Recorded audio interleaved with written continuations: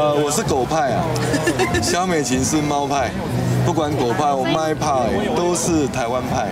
就算到了宠物展，也不忘把副手肖美琴挂在嘴边，要凸显两人作战肩并肩。只是随着对手柯文哲的搭档吴欣盈的国籍被讨论，曾经有美国籍的肖美琴也被解释。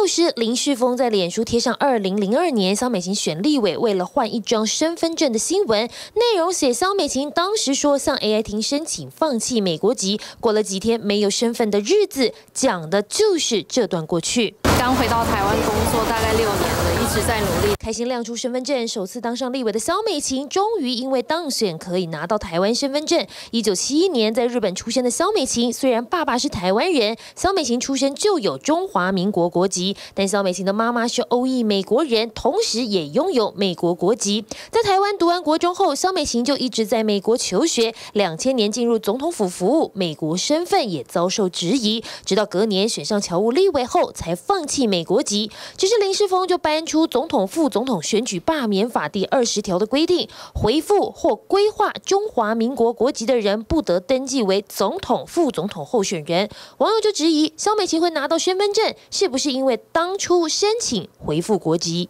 肖美琴大使于二零零二年放弃美国籍，网络留言已经被事实查核中心认定为造假谣言，呼吁台湾民众不要被影响。只回应早就放弃美国籍，但有没有申请回复国籍没回应，也让网友有继续讨论的空间。